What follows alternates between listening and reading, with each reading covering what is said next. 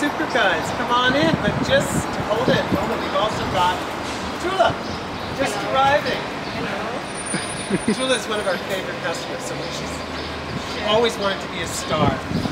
So you can come right on in where we have the stars of Canadian ceramics. And Tula, who has been one of our clients now for the past, oh God, three years? years. Four years. Yeah, Seems like four. longer. I mean, and everything here is Canadian.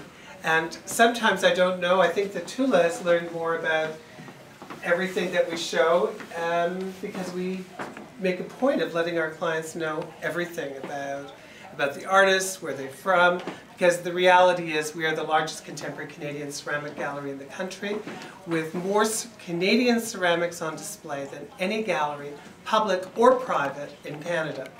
How many of these artists have you got so far? I think I have most of them. Which is over 150.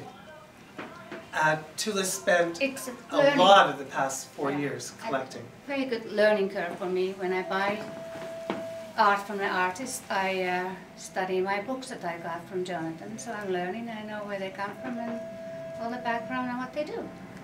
Very interesting.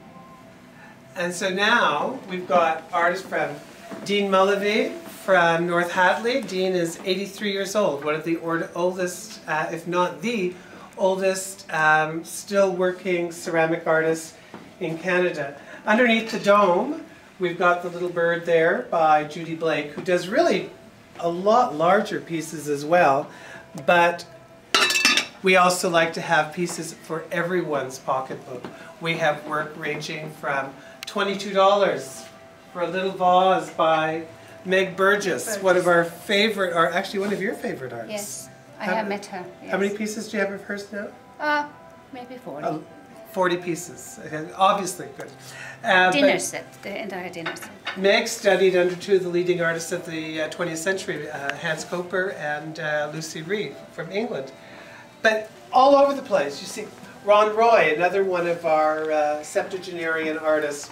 Ron was here the other day dropping off work for Matter of Clay 3, which will be opening um, in August, actually August 4th, where there are people and artists coming from all over Canada.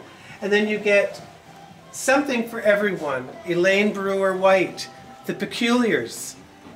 And, and uh, Elaine also does work that is um, not only spectacular but also works to commission.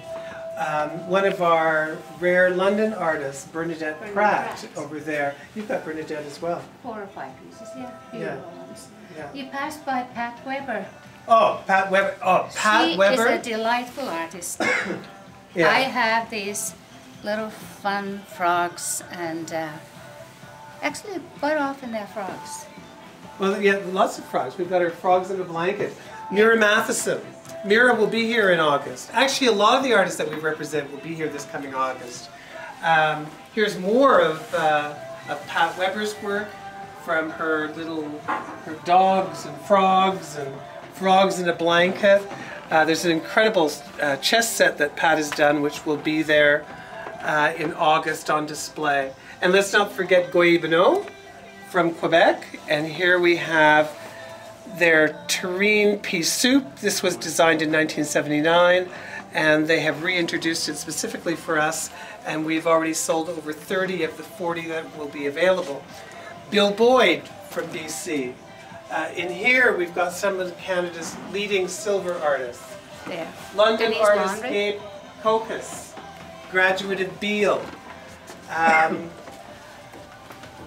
and then there we have the um, uh, Michael Massey. Michael has just been elected Royal Canadian Academy. And of course the gallery goes on and on. It goes down here and it goes into here if you want to just swing around the corner. And in here, oh, Eden LaGrose Wise, Quebec. Right now the gallery is filled and chock-a-block because we're getting ready for our uh, third annual Matter of Clay show held every five years in London. Matter of Clay 3 this year will be representing over uh, 100 of Canada's top ceramic artists. And here we've got a wonderful scene of London by Jamie Jardine. We've been showing Jamie now for over 10 years, sold over a thousand of his paintings. And as we keep on moving in, Harlan House, one of Canada's masters of, of, um, of Celadon. Um, London's own James Kirkpatrick, uh, also known as Thesis, an aspiring musician who performs all over the world. And then, for the first uh, paintings I started to buy was And now you've got about 12 or 13 of those? Yeah, 12 or 13. you do bulk buying in here. and then around here we've got, again, uh, Sean McPherson, London artist. And here we've got all kinds. Everything is Canadian. Everything is original. There is nothing like this in Canada. Actually, according to our American clients, there is nothing like this in North America.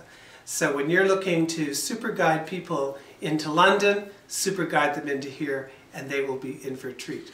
Thank you.